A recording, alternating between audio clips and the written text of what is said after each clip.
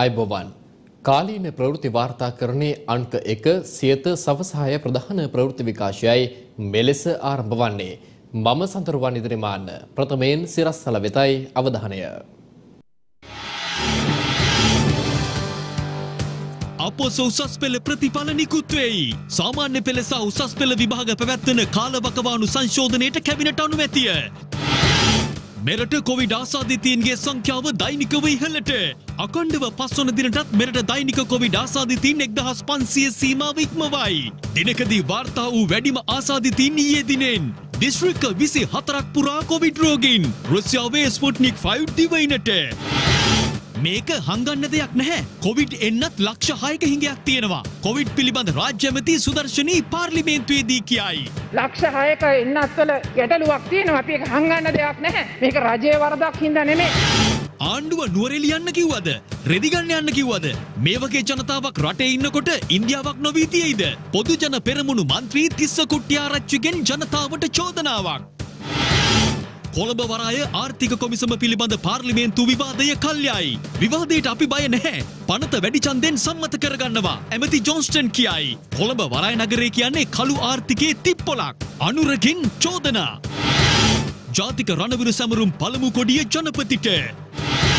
කෘතිම රා නිෂ්පාදන රැසක් රටපුරා. මේවාට සුරාබදු නිලධහරිනුත් සම්බන්ධයි. මේ හරහා රජයට සිදුවන පාඩුව රුපියල් බිලියන අසුවකට වැඩි. බුද්ධික පාර්ලිමේන්තුවේදී හෙළි කරයි. දේශීය පුවත් වෙතයි ප්‍රථමයෙන් අවධානය. දෙදහස් විස්ස අධ්‍යයන පොදු සහතික පත්‍ර උසස් පෙළ විභාගයේ ප්‍රතිඵල නිකුත් කර තිබෙනවා. දෙදහස් විස්ස අධ්‍යයන පොදු සහතික පත්‍ර උසස් පෙළ විභාගයේ ප්‍රතිඵල නිකුත් වී තිබෙනවා. ඒ අනුව විභාග දෙපාර්තමේන්තුවේ www.donets.lk නිල වෙබ් අඩවියට පිවිසීමෙන් ප්‍රතිඵල ලබා ගත හැකි. රට තුළ පැවති කොරෝනා වසංගත තත්ත්වය හේතුවෙන් සෞඛ්‍ය මාර්ගෝපදේශවලට අනුකූලව පසුගිය ඔක්තෝබර් මස 12 වනදා ආරම්භ වූ උසස් පෙළ විභාගය සඳහා අයතුම්කරුවන් 3 ලක්ෂ 62824ක් පෙනී සිටියා.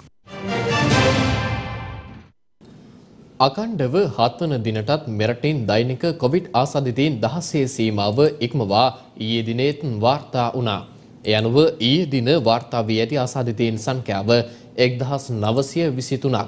අදාළ ආසාදිතීන් දිස්ත්‍රික්ක 24කට අයත් ප්‍රදේශ කිහිපයකින් වාර්තා වී ඇති බවයි කොවිඩ්-19 පැතිරීම වැළැක්වීමේ ජාතික ක්‍රියාන්විත මධ්‍යස්ථානය නිවේදනය කළේ.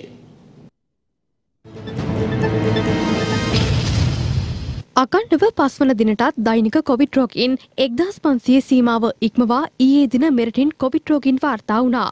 ඒ අනුව ඊයේ දින වාර්තා වූ සමස්ත කොවිඩ් රෝගීන්ගේ සංඛ්‍යාව එක්දහස් නවසය විසිතුනා. ඒ අතරින් පුද්ගලින් නව දෙනෙකු විදේශගතව සිට මෙරටට පැමිණි පුද්ගලින් ලෙස සහ එක් පුද්ගලයෙකු විදේශගතව සිට මෙරටට පැමිණි විදේශීය පුද්ගලයෙකු ලෙස වාර්තා වනවා. ඉතිරි රෝගීන් එක්දහස් නවසය දහතුන් දෙනා දේශීයව හඳුනාගෙන ඇති අතර ඉන් වැඩිම රෝගීන් සංඛ්‍යාවක් වාර්තා වී ඇත්තේ කොළඹ දිස්ත්‍රික්කයෙන් එම සංඛ්‍යාව සටහන් වන්නේ පන්සී විසි නවයක් ලෙසයි. කොළඹ නගර සභා සීමා බල ප්‍රදේශයෙන් කොවිඩ් රෝගීන් හැට හතර දෙනෙකු හා කොළඹ දිස්ත්‍රික්කයේ ප්‍රදේශ හතලිස් පහකට අයත් ප්‍රදේශවලින් කොවිඩ් රෝගීන් හාරසිය හැට පස් දෙනෙකු වාර්තා වී තිබෙනවා. ඒ අනුව පිළියන්දලින් රෝගීන් හැටක් මොරටුවෙන් රෝගීන් පනස් හතරක් මුල්ලේරියාවෙන් රෝගීන් තිස් පහක් පිටකෝට්ටෙන් රෝගීන් තිස් පහක්ද වාර්තා වී තිබෙනවා. කළුතර දිස්ත්‍රික්කයෙන් කොවිඩ් රෝගීන් දෙසිය හැට හතරක් ගම්පහින් දෙසිය තිස් දෙකක් පුත්තලමින් දහ අටක් කුරුණෑගලින් එකසිය විසි දෙකක් කෑගල්ලින් කොවිඩ් රෝගීන් හතරක් රත්නපුරින් කොවිඩ් රෝගීන් අසූ දෙදෙනෙක්ද වාර්තා වී තිබෙනවා. මාතලෙන් රෝගීන් පණහක් මහනුවරින් පනස් අටක් නුවරේලියෙන් එකසිය හතරක් අනුරාධපුරෙන් හැට නවයක් පොළොන්නරුවෙන් හැට හයක් මොනරාගලින් හය දෙනෙකුද වාර්තා වී ඇති බවයි COVID-19 පැතිරීම වැළැක්වීමේ ජාතික ක්‍රියාන්විත මධ්‍යස්ථාන නිවේදනය කළේ. වවුනියාව දිස්ත්‍රික්කෙන් කොවිඩ් රෝගීන් දෙදෙනෙකු වාර්තා වී ඇති අතර කිරිනුච්චීන් වාර්තා වී ඇති කොවිඩ් රෝගීන් සංඛ්‍යාව හයක්. මන්නාර්මින් කොවිඩ් රෝගීන් තුනක් යාපනයෙන් කොවිඩ් රෝගීන් දාසයක් මුලතිව් දිස්ත්‍රික්කෙන් කොවිඩ් රෝගීන් දෙදෙනෙක්ද වාර්තා වී තිබෙනවා.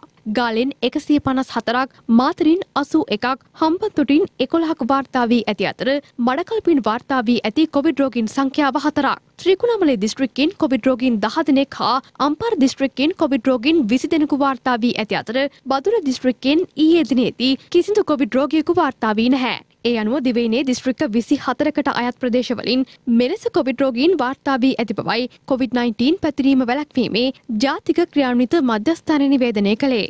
COVID-19 වෛරසය ආසාධනය වී මෙරට සිදු වූ තවත් මරණ දහතුනක් පිළිබඳව රජය ප්‍රවෘත්ති දෙපාර්තමේන්තුව ඊයේ දින නිවේදනය කළා. එසේම බලංගොඩ ප්‍රදේශය පදිංචි වයස අවුරුදු හැත්තෑවක කාන්තාවක්ද COVID-19 වෛරසය ආසාධනය වී අද මියගොස් ඇති බවයි සෞඛ්‍යංශ තහවුරු කළේ.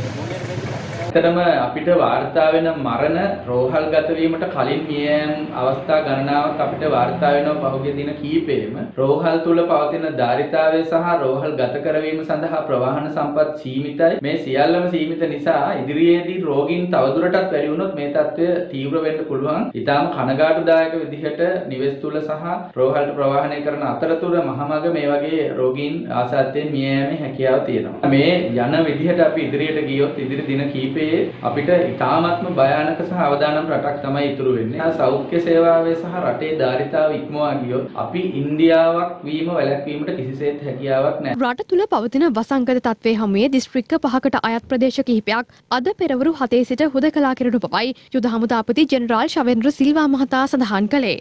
හැටන් කලාප අධ්‍යාපන කාර්යාලය යටතේ පාලනය වන හැටන් බොස්කෝ දමිල මහාවිද්‍යාලයේ ඉගරුම් කටයුතු සිදුකරන තවත් ගුරුවරියකට හා සිසුවෙකුට COVID-19 වෛරසය ආසාධනය වී තිබෙනවා.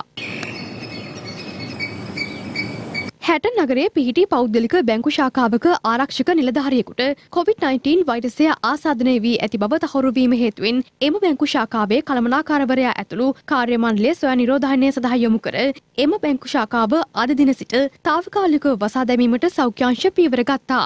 කෑගල්ල නගරයේ පිහිටි වෛද්‍ය රසායනාගාරයක සේවිකාවක් කොවිඩ් රෝගියෙකු බවට තහවුරුවීම හේතුවෙන් එහි සේවය කළ තවත් සේවිකාවන් දෙදෙනෙකු නිරෝධායනය කිරීමට සෞඛ්‍යංශ කටයුතු කර තිබෙනවා. නිසි සෞඛ්‍ය මාර්ගෝපදේශ නොතකමින් රමුක්කන ප්‍රදේශයේ පැවති විවාහමංගල උත්සවයකට සහභාගී වූ පුද්ගලයින් පහළොස් දෙනෙකු කොවිඩ් රෝගීන් බවට තහවුරු වී තිබෙනවා. ඒ අනුව පවුල් 50කට අයත් පුද්ගලයින් පිරිසක් නිරෝධායනය කිරීමටයි සෞඛ්‍යාංශ කටයුතු කර තිබෙන්නේ.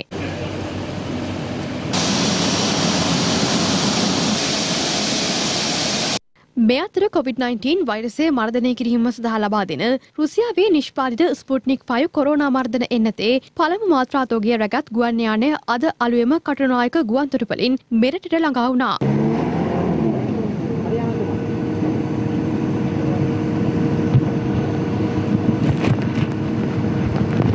අතිකරු ජනාධිපති ගෝටාබේ රාජපක්ෂ මැතිතුමා රුසියාවෙන් සිදු කරන ලද විශේෂ ඉල්ලීමක ප්‍රතිඵලයක් හැටියට ස්පුට්නික් එන්නතේ පළවෙනි මාත්‍රා තෝකය ශ්‍රී ලංකාවට ළඟා වුණා. එහි මාත්‍රා 15000ක් අඩංගු වෙනවා. රාජ්‍ය ඖෂධ නීතිගත සංස්ථාව තමයි මේ සඳහා ඇනවුම ලබා දුන්නේ සහ ඒ සඳහා මැදිහත් වීම කළේ. ඉදිරියේදී අපි බලාපොරොත්තු වෙනවා එන්නත් මාත්‍රා මිලියන 13ක් දක්වා අපේ රටට ලැබෙයි කියලා. අපි ෆයිසර් එන්නතත් අපේ රටට ගෙන එන්න බලාපොරොත්තු වෙනවා. ද ස්පුට්නික් පහ කියන මේ වැක්සින් එක අපේ ලංකාවට දෙසැම්බර් මාසය වන විට මේ මාසෙන් පටන් ගත්තාම මේ මාසය තුර ලක්ෂ 6කුත් ඊළඟට ලක්ෂ 8කුත් එතෙන් සිට මිලියන 1.2 බැගින් ඉතුරු මාස කිහිපය තුල ලංකාවට මෙම එන්නත ලබා දීම සඳහා අපි ගිවිසුම අත්සන් කරලා තියෙනවා. එතකොට මේ ගිවිසුම් ප්‍රකාර මේ එන්නත ලංකාවට ලැබුණාම මම හිතන හැටියට අපේ රටේ මේ පැතිරී යන වසංගත තත්ත්වය පාලනය කර ගැනීමට ඒක ලොකු රුකුලක් වෙනවා. ඉතින් ඒ නිසා මේ වැක්සීන් අපි ලබාගෙන ඒ වැක්සීන් ඔබට ලබා දෙනකම් අපි ජනතාවගෙන් ඉල්ලා සිටින්න ඕනේ හැකිතාක් දුරට නිරෝධායන මූලධර්ම වලට අනුකූලව තමන්ගේ වැඩ කටයුතු කරන්න කියලා. පවතින වසංගතත්වය හමුවේ රට සම්පූර්ණයෙන් වසා දැමීමක් හෝ සංචරණ සීමා පනවන්නේද නැද්ද යන්න සම්බන්ධයෙන් මේ වන විට සමාජය තුළ දැඩි කතාබහට ලක්ව තිබෙනවා. ඒ අනුව පවතින තත්ත්වය සලකා බලා සංචරණ සීමා පැනවීම සම්බන්ධයෙන් ඒ ඒ අවස්ථාවන්ට හා ප්‍රදේශයන්ට අනුව සුදුසු තීරණ ගන්නා බවයි අද කැබිනට් තීරණ දැනුම්දීමේ මාධ්‍ය හමුවට එක්වෙමින් අමාත්‍ය කෙහෙලිය රඹුක්වැල්ල මහතා ප්‍රකාශ කළේ. මන්ත්‍රලේදී කිසියම් සාකච්ඡාවක් ආවේ නැද්ද රට පුරාම සංචලන සීමා පනවන්න? නෑ මම හිතන්නේ ඒක සාමාන්‍යයෙන් ඒක කොවිඩ් සතක මණ්ඩලයත් එක්කයි සාකච්ඡා වෙන්නේ. ඒ සාකච්ඡාවේදී විශේෂයෙන්ම තියෙන තත්ත්වයන් සම්බන්ධව විශ්ලේෂණය කරමින් කොටස් වශයෙන් මේ අවශ්‍ය ප්‍රමාණයට ඒ දේ කර යුතුයි කියන මතයේ ඉන්නේ. ඉදිරියේදී සමහරක් විතර මම කිව්වා වගේ හෙට දවස වෙනකොට සමහරක් වෙන වෙනත් හින්දුවක් ගන්න පුළුවන්. දවස වෙනකොට ගන්නට පුළුවන්. ඒ තියෙන තත්ත්වයන් විශ්ලේෂණය කරමින් පාලනය තුල පාලනයක් ඇති කිරීමට හැකියාව තුල කටයුතු කරමින් සිටිනවා. දැන් ඔබතුමාලා කතා කරන විදිහට ලෝකේ බලගත්ම රටක් අපේ අසල්වැසියට වෙලා තියෙන දේ. මොකද ජනතාවගේ සහභාගීත්වය සහ ජනතාව විසින් අර මං ඉස්සෙල්ලා හවම ජනතාව බුද්ධිමත් ලෙස කටයුතු කරනවාද කියන එක මං විශ්වාස කරනවා අපේ ජනතාව යම් කිසි විදිහේ ඊට වඩා අපේ අසල්වැසියන්ට වඩා ඊට වඩා වැදගත් විදිහකට ඊට වඩා මේ සම්බන්ධව සංවේදීව කටයුතු කරනවායි කියන එක පැහැදිලි. පවතින කොවිඩ් තත්ත්වය පිළිබඳව සැලකිල්ලට අරගෙන සෞඛ්‍ය අමාත්‍ය පවිත්‍රා වන්‍යාරච්චි මැතිනිය විසින් ශ්‍රී ලංකාවේ කොවිඩ් 19 වසංගතයේ මේ තෙවන රැල්ල ආශ්‍රිතව PCR ධාරිතාවය වැඩි කිරීම සඳහා අවශ්‍ය ප්‍රතිපාදන ලබා ගැනීම සඳහා ඉදිරිපත් කරන ලද කැබිනට් පත්‍රිකාවට කැබිනට් අනුමැතිය ලබා දුන්නා. දැනට දිනකට PCR පරීක්ෂණ 20000ක් පමණ ශ්‍රී ලංකාවේ සිදු වෙනවා. නමුත් මේ තෙවනි රැල්ලේ තීව්‍රතාවය සමග එම ප්‍රමාණය මදි බව අපි වටහාගෙන තිබෙනවා. ඒ නිසා අවශ්‍ය අනෙකුත් උපකරණ සහ පහසුකම් වැඩි දියුණු කිරීම වෙනුවෙන් ඉදිරිපත් කරන ලද යෝජනාවට කැබිනට් අනුමැතිය ලබා දීලා තිබෙනවා. පසුගිය දිනවල අධික ලෙස රෝගීන් වාර්තා වීමත් සමගම රෝහල් ඇඳන්වල යම් අඩුපාඩුවක් තිබුණු බව රටේ ප්‍රදේශ ගණනාවකින් වාර්තා වුණා. එම වාර්තා සැලකිල්ලට අරගෙන රටේ ඇඳන් ප්‍රමාණය දැනට පවතින 14455ක සීමාවින්දලා තවත් 3000කින් ඉදිරි දින දෙක තුන ඇතුළත වැඩි කරන්නට කොවිඩ් මර්ධන කාර්යසාධක බලකාය විශේෂ කටයුතු රාශියක් කරමින් සිටිනවා. එහිදී එම ධාරිතාවය වැඩි කරනවා වගේම ලංකාවේ මෙම කොවිඩ් රෝගීන්ට අදාළ ප්‍රතිකාර මධ්‍යස්ථානවල පහසුවෙන් ළඟාවීම පිණිසත් අදාළ සේවාවන් කඩිනමින් ලබා දීම පිණිසත් විශේෂිත දුරකථන අංකයක් ලබා දීලා තිබෙනවා. ඒ 1906 කියන දුරකථන අංකය ඒ යටතේදී දැනටමත් PCR පරීක්ෂණයෙන් රෝගියෙකු බව ඔප්පු වෙලා දැනට රෝහලකට ඇතුළත් වීම අපහසුව සිටින කවුරු හරි ඉන්නවා නම් මේ 1906 කියන දුරකථන අංකය හරහා අදාළ සම්බන්ධීකරණ කටයුතු කර ගැනීමේ හැකියාව තිබෙනවා. ඒ නිසා අපි විශ්වාස කරනවා ඉදිරි දිනයක් දෙකත් ඇතුළත ලංකාවේ සිටින සෑම රෝගියෙකුටම ප්‍රතිකාර මධ්‍යස්ථානයක් වෙත නිශ්චිතව ළඟා වී අදාළ ප්‍රතිකාර ලබා ගැනීමේ හැකියාව තිබෙනවා කියන කාරණය. කොවිඩ් ව්‍යාප්තිය හේතුවෙන් මේ වන විට දිවෙන පුරා තැපැල් කාර්යාල 32ක වසා දමා ඇති බව තැපැල්පති රංජිත් ආරිරත්න මහතා සියත අප කළ විමසීමකදී ප්‍රකාශ කළා. ඒ අනුව දිවෙන පුරා උපතැපැල් කාර්යාල 28ක් හා ප්‍රධාන තැපැල් කාර්යාල 4ක් මෙලෙස වසා දමා ඇති බවයි ඒ මහතා වැඩිදුරටත් සඳහන් කළේ. මේ අතර COVID-19 වෛරස් ප්‍රභේදය ඉතා අවධානම්කාරී ලෙස පැතිර යන හෙයින් වෛරස් ව්‍යාප්තිය පාලනය කර ගනිමින් සායන රෝගීන් හට ප්‍රතිකාර හා සේවාවන් ලබා දීම සඳහා ජාතික අක්ෂරෝහල මගින් විශේෂිත දුරකථන අංක කිහිපයක් හඳුන්වා දී තිබෙනවා. මෙම දුරකථන අංක අදාළ සායන දිනයන්හි පමණක් අමතා දිනයක් හා වේලාවක් වෙන් කරවාගෙන පැමිණීම අනිවාර්ය බවත් මෙමගින් රෝගීන් රැඳී සිටීමේ කාලය අවම කරමින් රෝහල් පරිශ්‍රය තුළ වෛරස් ව්‍යාප්තිය පාලනය කිරීම මූලික අරමුණ බවයි ජාතික අක්ෂරෝහලේ අධ්‍යක්ෂ වෛද්‍ය WLLUC කුමාරතිලක මහත්මිය සඳහන් කළේ. ගෝලිය කොවිඩ් වෛරසය හමුවේ මේ වන විට දැඩි බලපෑම් එල්ල වී ඇති ඉන්දියාවේ ගත වූ පෑ විසි හතරක කාලය තුළ පමණක් වාර්තා වී ඇති නව කොවිඩ් රෝගීන්ගේ සංඛ්‍යාව තුන් ලක්ෂ පනස් සදහසේ සීමාව ඉක්මවා ගොස් තිබෙනවා. සිදුව ඇති මරණ සංඛ්‍යාව සටහන් වන්නේ තුන්දා සාරසිය හතලිස් නවයක් ලෙසයි. ඒ අනුව එරට තුළ සමස්ත කොවිඩ් රෝගීන්ගේ සංඛ්‍යාව මිලියන විස්ස ඉක්මවා ගොස් ඇති බවයි එරට මාත්‍ය වාර්තා කරන්නේ. පවතින ඔක්සිජන් හිගේ මෙන්ම මේ වන විට රෝහල් රෝගීන්ගෙන් පිරී ගොස් තිබීම හේතුවෙන් කොවිඩ් මරණ රට තුළ ඉහළ ගොස් ඇති බවයි එරට සෞඛ්‍යංශ පවසන්නේ. මෙන්න දැන් ලැබුණු පුවතක්. අද දවසේ මේ මොහොත වන විට නව කොවිඩ් ආසාදිතයින් එක්දාස් එකසිය පනස් දෙනෙකු වාර්තා වී ඇති බව යුද හමුදාපති ජනරල් ශවේන්ද්‍ර සිල්වා මහතා පවසනවා. මේ අතර අද පාර්ලිමේන්තුවේදීද විවාදයට ලක් වුණේ වත්මන් කොරෝනා තත්ත්වය පිළිබඳවයි.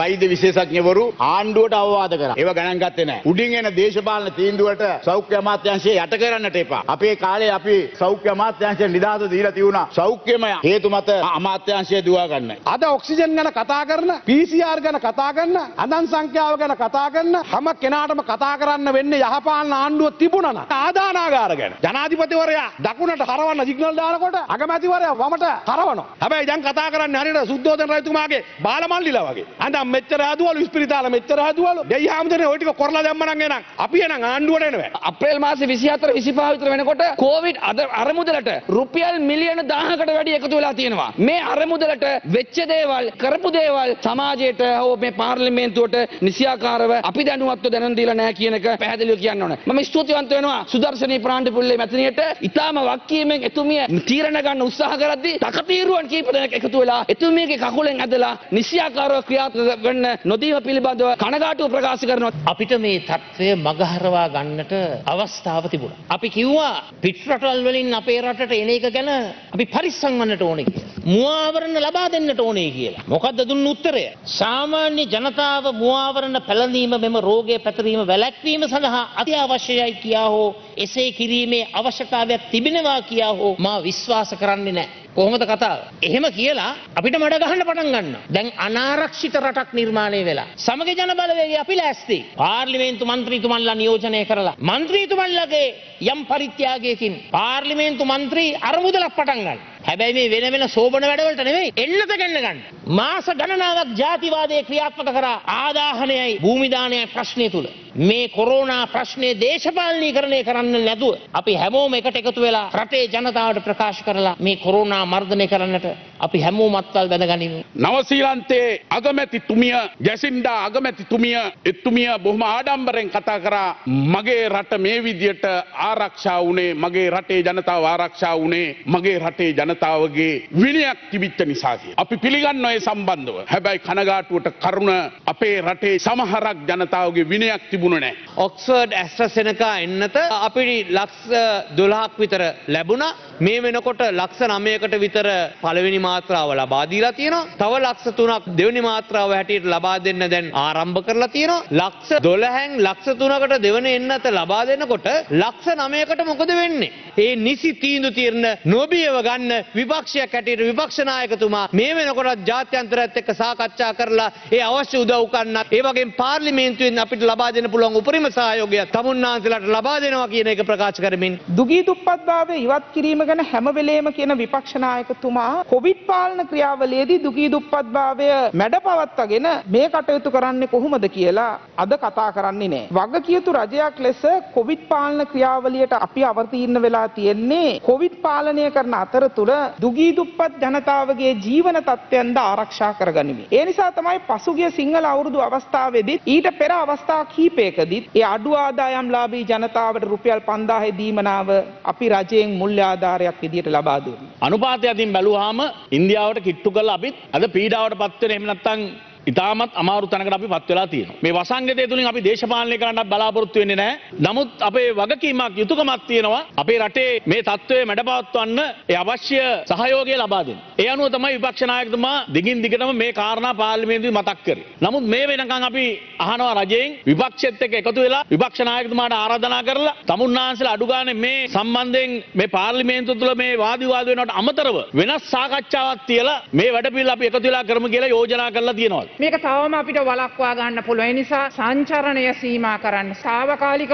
රෝහල් ස්ථාපිත කරන දැනටමත් කටයුතු කරගෙන යනවා. ICU, HDU ෆැසිලිටි වැඩි කරන්න, ඔක්සිජන් ධාරිතාව වැඩි කරගන්න. මේ සියලු දේම උපරිම මට්ටමකට එන්නේ නැතුව අපි දැනට වලක්වා ගන්න. මොකද සෞඛ්‍ය කාර්ය මණ්ඩලය වැඩි වෙන්නේ නැහැ. රෝගීන් වැඩි වුණාට ඒ නිසා අපි රටේ මහ ජනතාවගෙන් තාමත්ම කරුණාවෙන් ඉල්ලන්නේ තවමත් අපිට පුළුවන් මේක පාලනය කරගන්න. ඒ නිසා පුළුවන් තරම් සංචරණය සීමා කරගන්න. ඒක තමයි අපිට දෙන්න පුළුවන්. ඉතාමත්ම ලොකු සහයෝගය. ජනාධිපතිතුමාගේ ප්‍රධානත්වයෙන් පැවති රැස්වීමකදී තීන්දුව කෙරුවා අවුරුදු 30ට වැඩි අයට අපි එන්නත ලබා දෙනවා. ඒ සඳහා අපි මිලදී ගන්නවා. ලක්ෂ 6ක එන්නත්වල ගැටලුවක් තියෙනවා. අපි ඒක හංගන්න දෙයක් නැහැ. මේක රජයේ වරදක් හින්දා නෙමෙයි. වසංගතයේ තත්ත්වය මත නිෂ්පාදකයන්ට අවශ්‍ය කරන්නේ සැපයුම දී ගන්න බැරි හින්දා. ඒක අපි රටට කියන්න අවශ්‍යයි. අපි අභියෝගයක් තියෙනවා. ඒ අභියෝගයේ ඉදිරියේ අපි කොහොමද කටයුතු කරන්නේ කියන එක ඉතාමත් වැදගත්. ඒ සියලුම එන්නත් අපිට අවශ්‍ය කරන සියලු දෙනාටම ලබා දෙන්නට අපි වැඩ පිළිවෙලක් දැනටමත් දියත් කරලා තියෙනවා. මේ ගැන කිසිම බයක් සැකක් ඇති කරගන්නට එපා.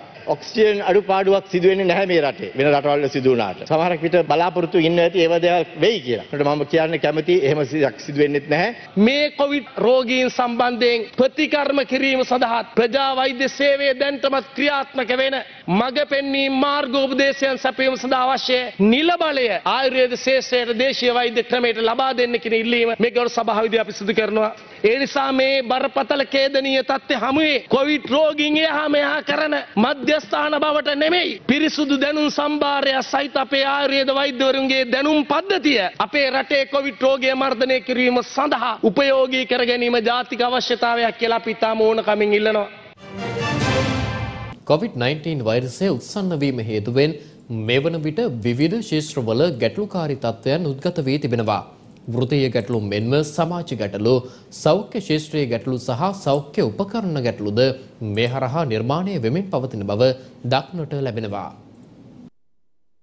සෞඛ්‍ය පාර්ලිමේන්තුව දිහා බලපුවාම කොරෝනා රෝගී උත්සන්නයන් පක්ෂ තමයි දැන් මේගොල්ලෝ උපකරණ හොයන්නේ ඇඳන් හොයන්නේ කාමර හොයන්නේ දැඩිසත්කාරයක හොයන්නේ දැනුයි සෞඛ්‍ය පාර්ලිමේන්තුව හැමදාම කරන්නේ පැලත්තර දාන එකයි. බලලා මැටියෙන් හරි කමන්නේ මීයෝ අල්ලනවා නම් ඔවුන්ට ඔය එකයි ඕනකම තිබෙන්නේ. අද සෞඛ්‍ය පාර්ලිමේන්තුවේ නිලධාරීන්ට කලපුරුද්දක් නැහැ පළපුරුද්දක් නැහැ. අවම කාර්ය මණ්ඩලයක් එක හෙදියක් තුන් ගුණයක් වැඩ කරන්න අපිට සිදු වෙලා තියෙනවා. මේක හරිම අසාධාරණයි. නමුත් අපි සටනක් ගෙනිච්චේ නැහැ. මොකද අපි හැම දෙයක්ම දරා බලාගෙන තමයි ඒ දේවල් ක්‍රියාත්මක කරේ. නමුත් ඒක දැන් පුපුරා යන තත්යකට ඇවිල්ලා තියෙනවා. විශේෂයෙන් මේ කොවිඩ් කියන වසංගත තත්ත්වයේදී. ඒ නිසා අපි කරුණාවෙන් ඉල්ලා සිටින්නේ හෙද කාර්ය මණ්ඩලයේ අවශ්‍ය ප්‍රමාණය රැක ගන්න නම් පුහුණුවීම් යාවත් කාලික කරන්නට ඕන. ඒ වගේම මතක තබා ගන්න මේ විශ්‍රාමික දිවිය අනිවාර්යෙන් වර්ධනය කරගත්තේ නැත්නම් වැඩි දියුණු කරගත්තේ නැත්නම් 63 දක්වා දියුණු කරේ නැත්නම් ඉදිරියේදී මේ තර්ජන හමුවේ රෝගීන් මුහුණ දෙන ගැටලු හමුවේ ලොකු විශාල අවපාතයකට අපි ලක් වෙනවා අවශ්‍ය කාර්ය මණ්ඩලය නැති නිසා.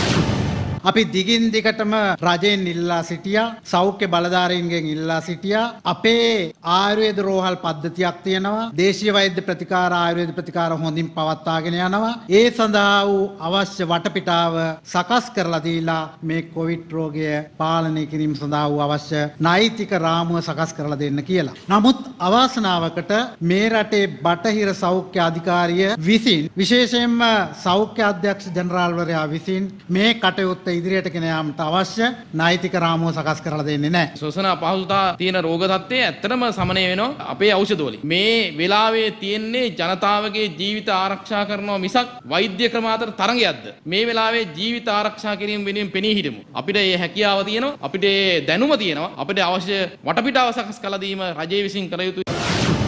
දැන්ට අභ්‍යාසලාභීන් විදිහට කටයුතු කරන උපාධිධාරීන් සෞඛ්‍ය වෛද්‍යීන් MOH ඔෆිස් වල වැඩ කරමින් ඉන්නවා. එතකොට සමහර ආයතනවල හම්බ වෙන සෞඛ්‍ය ආරක්ෂණ කට්ටල අභ්‍යාසලාභීන්ට ලබා දෙන්නේ නැහැ. මේ අභ්‍යාසලාභීන්ට යම් කෝවිඩ් නිසා හරි වෙන රෝගී තත්ත්වයක් නිසා හරි අවදානමක් ආවොත් ඒ අවදානමේ වගකීම ගන්න කවුද?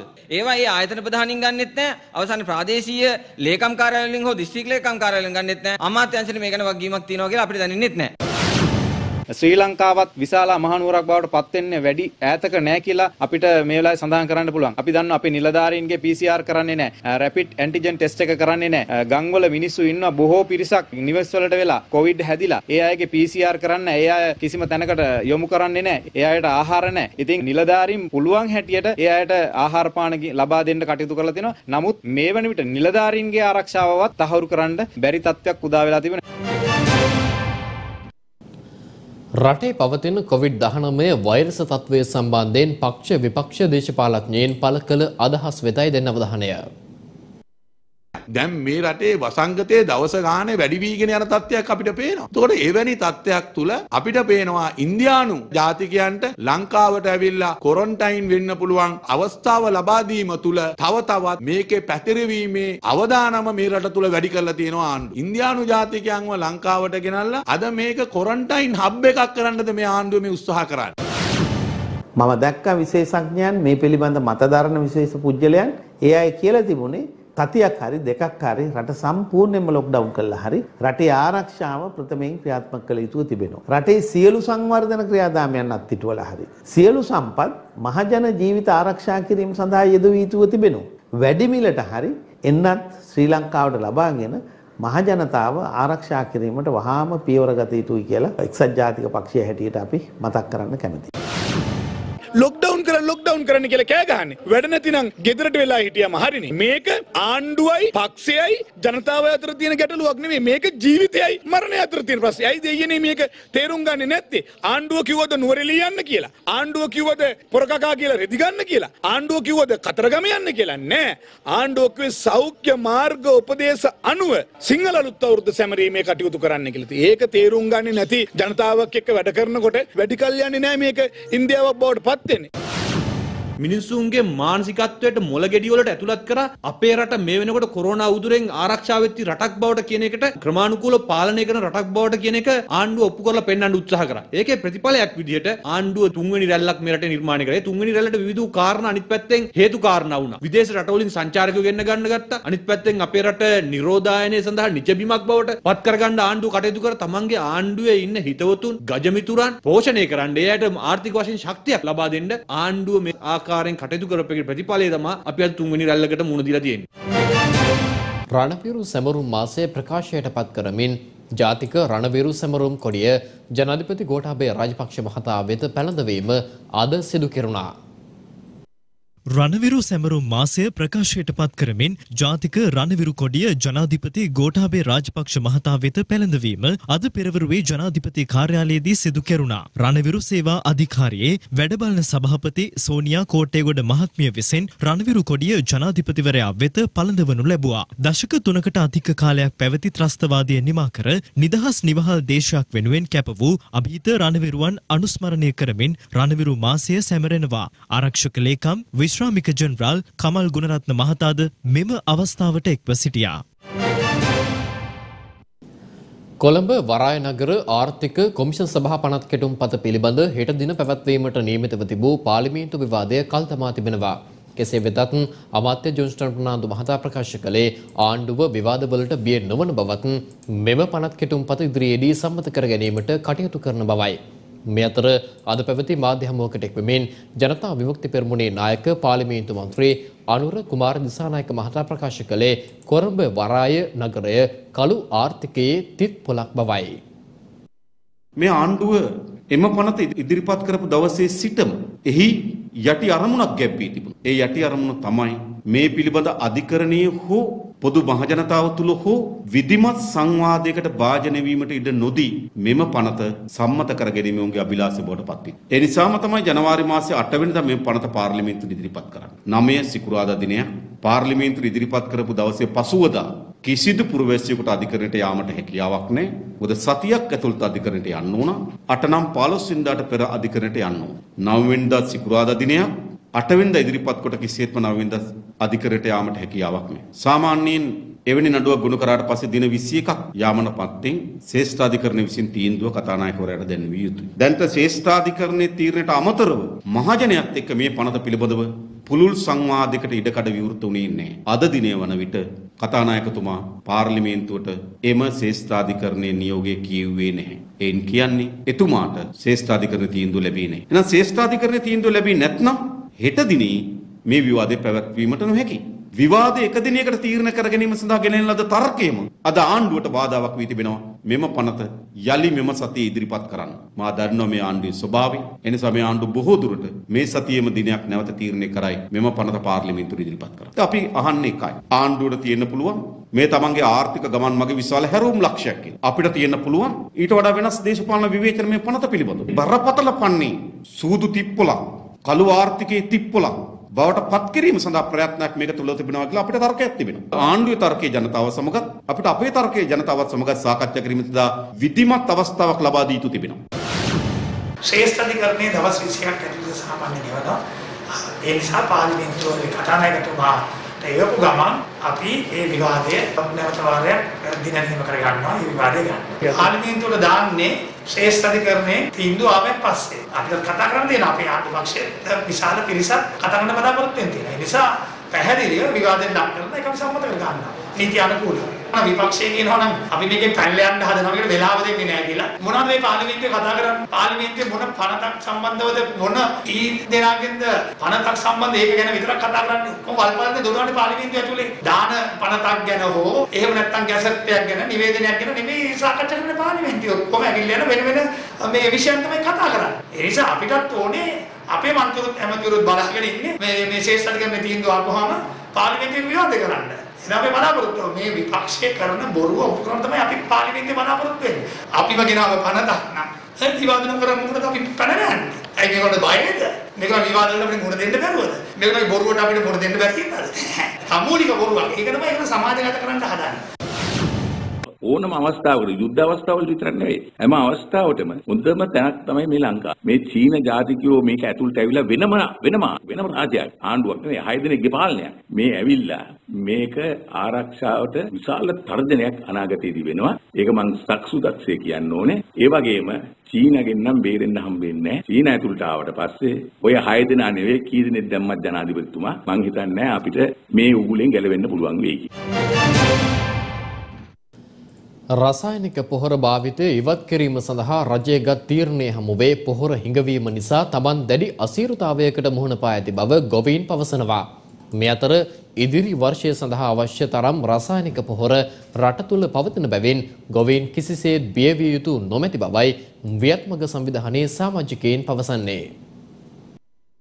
අපි රසායනික මේ පොහොර සහ රසායනික වල් කෘමිනාශක ගෙනල්ලා විශාල මුදලක් අපි වැය කරනවා. ඒ මුදල මෙරට කාබනික පොහොර නිෂ්පාදනය කිරීමට දිරිගැන්වීමටත් ඒවගේම ගොවියන්ව කාබනික පොහොර වලට යොමු කිරීමට දිරිගැන්වීමටත් අපිට පාවිච්චි කරන්නට පුළුවන්. සම්පූර්ණයෙන්ම මේවා අහක් කරපු පළවෙනි රට කියලා අපිට කියන්නට පුළුවන් නම් ඒකත් අපිට ලොකු දෙයක්. ජනාධිපති ගෝඨාභය රාජපක්ෂ මහතා පසුගිය සතියේදී රසායනික පොහොර ශ්‍රී ලංකාවේ භාවිතය සම්පූර්ණයෙන් නතර කිරීමට පියවර ගන්නා බවට සිදු කළ මේ ප්‍රකාශයත් සමග යළිත් පොහොර භාවිතය සම්බන්ධයෙන් රට පුරා සාකච්ඡා ආරම්භ වුණා. ජනාධිපතිවරයා සිදු කළ මේ කතාවේ වසර කිහිපයක් අප පිටුපසට ගියොත් පසුගිය යහපාලන රජයේ මෛත්‍රී පාලනයක් ස්ථාවර රටක් ප්‍රතිපත්ති ප්‍රකාශනයෙන් රසායනික පොහොර සහ කෘෂි රසායන භාවිතය ක්‍රමානුකූලව ඉවත් කර වස විසවලින් තොර රටක් ගොඩනැගීම සඳහා වූ වැඩපිළිවෙලක් ආරම්භ කළා. ඔබට මතක ඇති. පූජ්‍ය අතුරුලියේ රතන හිමියන්ගේ ප්‍රධානත්වයෙන් ආරම්භ වූ වස විසෙන් තොර රටක් වැඩසටහන් මාලාව සාර්ථකව කිරීගෙන ගියත් ඇති වූ විවිධ අඩුපාඩු සහ ප්‍රායෝගික ගැටලු මුල් කරගනිමින් එය ඉදිරියට පවත්වාගෙන යමින් රට තුළ එම තත්ත්වය ස්ථාපිත කිරීමට හැකියාවක් ලැබුණෙන් නැහැ. අතර මග එය නැවතී ගියා. වත්මන් ජනාධිපති ගෝඨාභය රාජපක්ෂ මහතා යළිත් රසායනික පොහොර භාවිතය නතර කර කාබනික පොහොර වලින් රටේ වගාවන් සිදු කරන බවටත් පස මෙන්ම ගොවියාද ආරක්ෂා කර ගනිමින් සුපෝෂිත රටක් නිර්මාණය කිරීමටත් කැපවන බවට සිදු කළ මේ ප්‍රකාශයත් සමග ඊට පක්ෂපාතීව සහ ඊට විරුද්ධව දැඩි මතයන් රට තුළ ඉදිරිපත් වෙමින් පවතිනවා.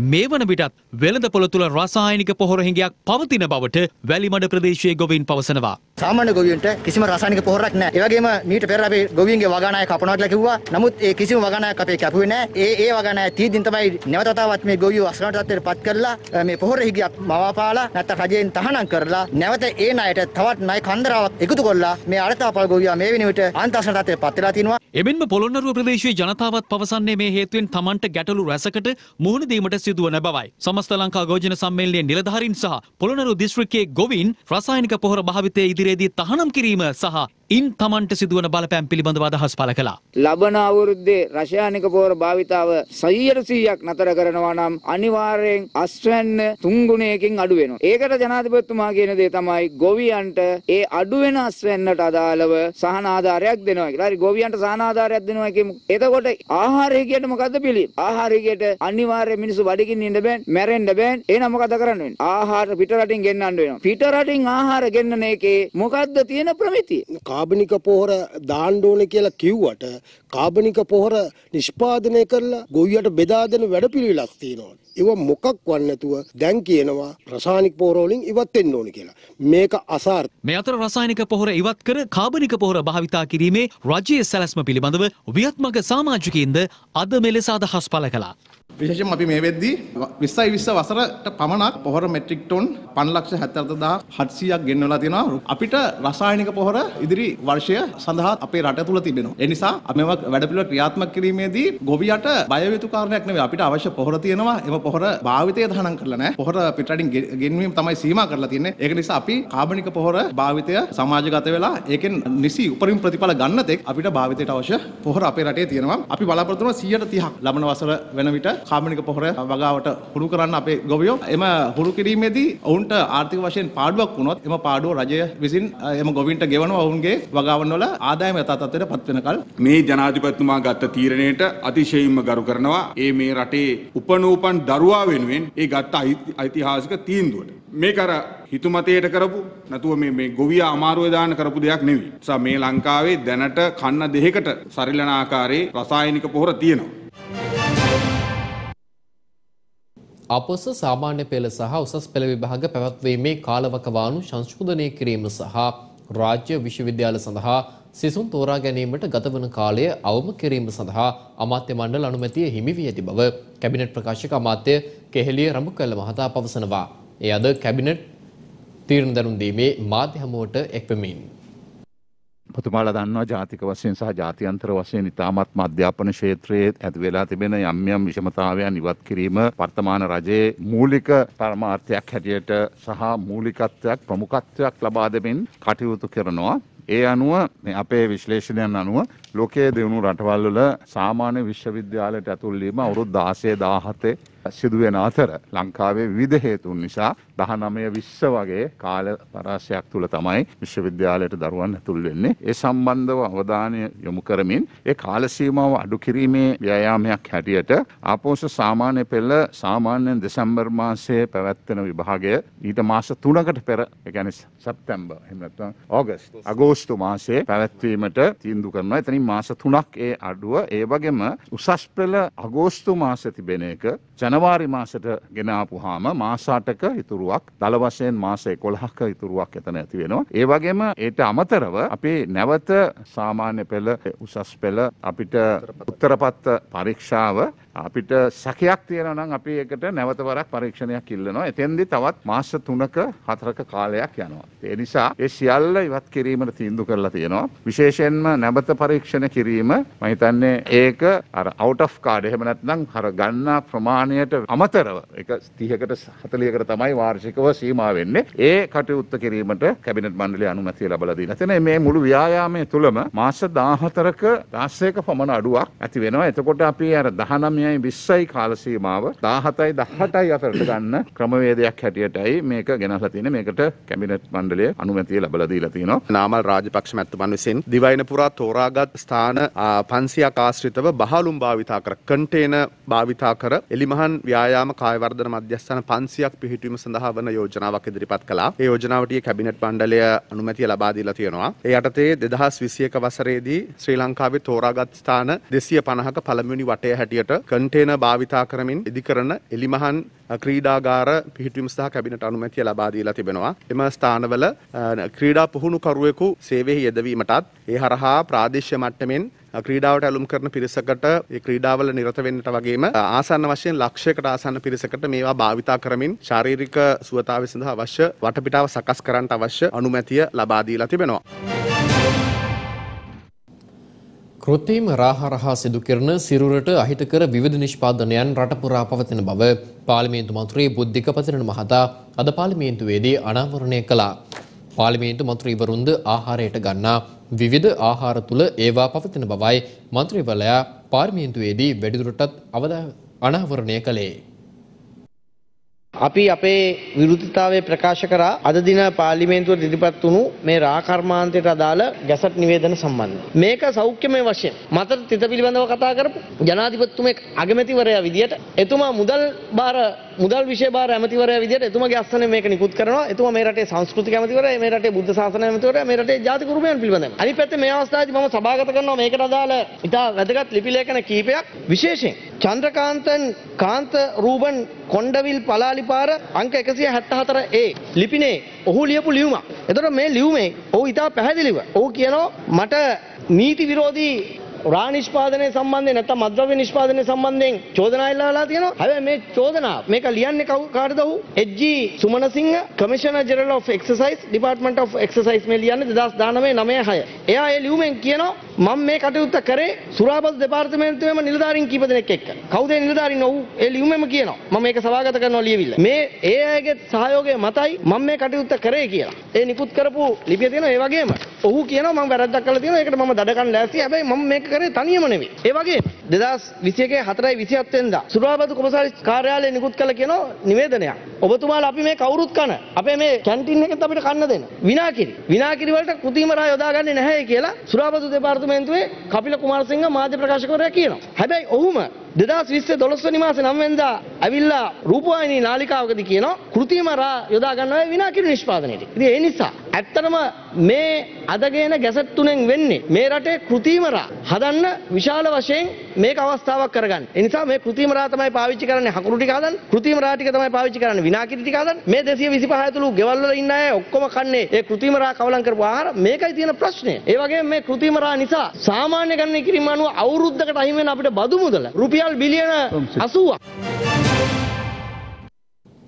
දැන් අවධානය රටවටා පුවත් කිහිපයක් වෙතයි. මහියංගන පූජා නගරයේ රජමහා විහාරස්ථානයේ ආසන්නයේ වූ විල්ලුව වෙවේ සිටින දැවැන්ත කිඹුලෙක් විල්ලුව වෙව ගම්මානයට පැමිණ තිබෙනවා. ගම්වාසීන් පවසන්නේ මෙම කිඹුලන් සුනකින් දඩයම් කිරීම සඳහා මෙලෙස ගම්වදින බවයි.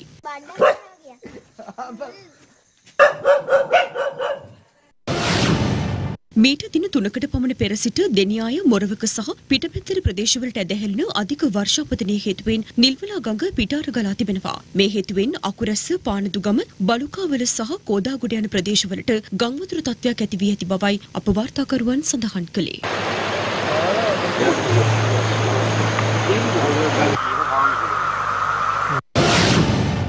අතුරුකිරිය ශාන්තාලෝකගම සිදු වූ මුදල් සහ රන්බාණ්ඩ සොරකමක් පිළිබඳව විමර්ශන කටයුතු ආරම්භ කළ අතුරුකිරිය පොලිසියේ ස්ථානාධිපතිවරයා ඇතුළු කණ්ඩායමට එක් සැකකරුවෙක් සමග රුපියල් ලක්ෂ 40ක් පමණ වටිනා රන්බාණ්ඩ සහ විදෙස් මුදල් ඇතුළු භාණ්ඩ තොගයක් සොයා ගැනීමට හැකි වී තිබෙනවා. ඊයේ පස්වරුවේ ඇති වූ අයහපත් කාලගුණික තත්ත්වයක් සමග බදුල්ල පස්සර ප්‍රධාන මාර්ගයේ හතරි කණුව සැතපුම් කණුවට ආසන්නයෙන් විශාල ගල් සහ පස්කන්දක් කඩා වැටීමෙන් මාර්ගයේ රථවාහන ගමනාගමනයට බාධා එල්ල වී තිබුණා. කින්නියා ප්‍රදේශය කේන්ද්‍ර කර ගනිමින් කලක සිට සිදු කළ තේකදව ජාවාරමක් වැටලීමට ත්‍රිකුණාමලය චීනවරාය පොලිසිය අද සමත් වුණා. කෙසේ වෙතත් වැටලීම සිදු කරන අවස්ථාවේදී සැකකරුවන් මුහුදට පැන පලා ගොස් ඇති අතර තේක්ක කඳන් සහිත දීවර යාත්‍රා දෙකක් කරත්තයක් සහ ගවීන් දෙදෙනෙක් පොලිස් භාරයට ගෙන තිබෙනවා. එත් සමගින් සියත සවසහය ප්‍රධාන ප්‍රවෘත්ති විකාශය අවසන්. මෙම පුවත් ඇතුළු තවත් දෙස් විදෙස් ආර්ථික සහ ක්‍රීඩා තොරතුරු සඳහා පිවිසන්න www.සියත.news.lk අපගේ වෙබ් අඩවිය වෙත. යළිත් හමුවෙමු රාත්‍රී 9:35ට අපගේ රාත්‍රී ප්‍රවෘත්ති විකාශය තුලින්. ඔබට සුබ සන්ධ්‍යාවක්. දිනපතා අලුත් වීඩියෝ සහ ප්‍රවෘත්ති නැරඹීමට ඉහත බටන් එක ක්ලික් කර සියත TV සබස්ක්‍රයිබ් කරන්න.